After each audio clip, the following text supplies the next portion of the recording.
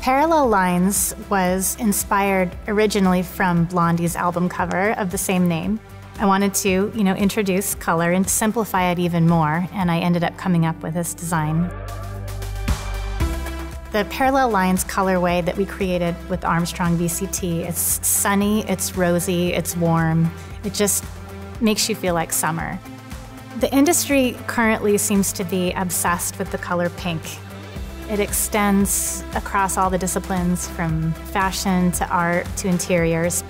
This is my nod to that kind of aesthetic of just unabashed, unapologetic pink.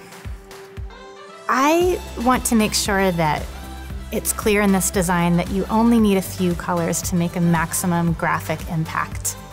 There are only five to seven colors in this design, and it still creates a visual environment that gives you a very definite feeling when you look at it.